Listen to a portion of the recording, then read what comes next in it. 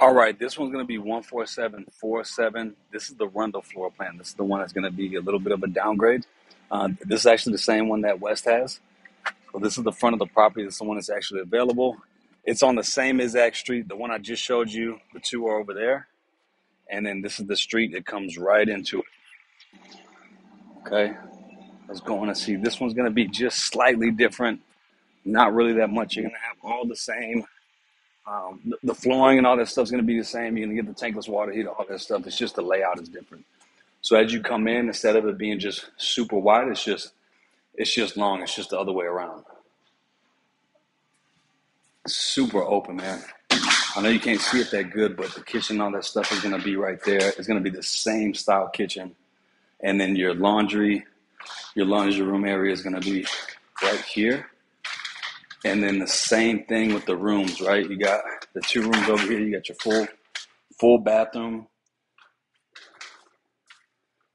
You got you got this right here. I mean, this is the same exact floor plan uh, that John has.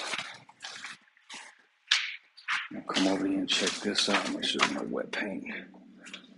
It's gonna be the master. They've already laid down the floors, um, but it has a little bit to go. So this one's got about another. It's gonna be mid.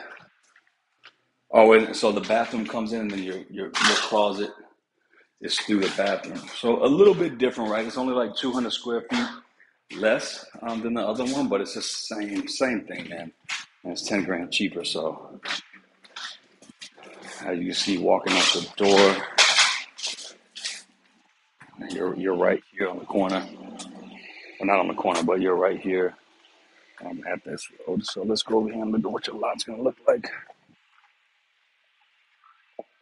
The door that come out is gonna be right here on the side as well. This one has actually a little bit of a separation right here between your your neighbors in the back. So it looks like it's gonna be about the same size lot. I'm walking the perimeter right now.